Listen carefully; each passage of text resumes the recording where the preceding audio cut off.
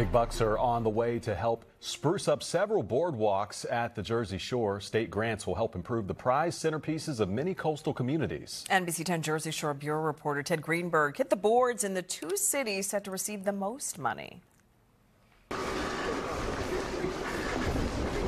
Georgine Mitchell loves spending time on Atlantic City's boardwalk, but she's very careful about where she steps. I shift from side to side to find a flat ground. The uh, boardwalk is very unlevel, and most of it, actually, the majority of the boardwalk needs to be repaired.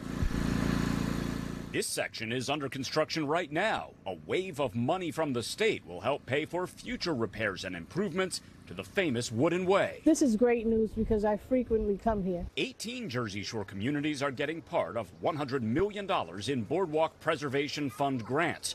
Atlantic City and Asbury Park set to get the highest amounts, 20 million each. I'm glad to hear about that. Um, certainly can use some improvements. In Asbury Park, 7 million of those dollars will go towards upgrading boardwalk planking, railings, disability accessible ramps, and restrooms. We go other beaches, other places, but Asbury Park is special. So I'm really happy to hear that it'll be revitalized. Local leaders say the remaining $13 million will help bring the landmark Convention Hall complex back to life. This is probably one of the most iconic structures, quite frankly, on the East Coast. With the exception of this walkway, structural issues have kept the building closed for a number of years.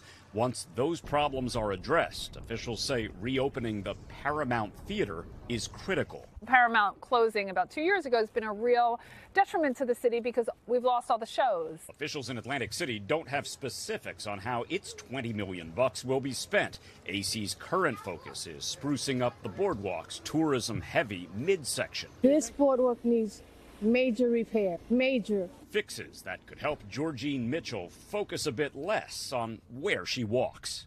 Ted Greenberg, NBC 10 News.